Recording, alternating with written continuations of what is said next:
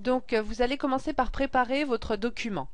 Donc dans un premier temps, vous allez modifier les marges. Donc pour modifier les marges, soit vous passez par le menu mise en page, marge et vous allez dans marge personnalisée, ou bien vous affichez la règle en cliquant ici, vous double-cliquez dans la partie bleue de la règle et vous choisissez donc les marges de 1 cm partout.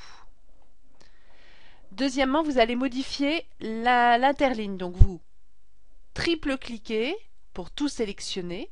Vous allez dans le menu Accueil, Paragraphe, donc vous allez mettre 0 point avant, 0 point après, et vous allez choisir un interligne simple. Et enfin, vous allez insérer une bordure de page. Donc pour cela, vous allez dans le menu Mise en page, vous choisissez bordure de page, et vous avez ici des motifs différents. Donc vous allez choisir un thème qui soit en rapport avec euh, un menu, le repas. Donc, mais vous choisissez ce que vous voulez. Alors après ici, vous allez pouvoir réduire la largeur. Voilà.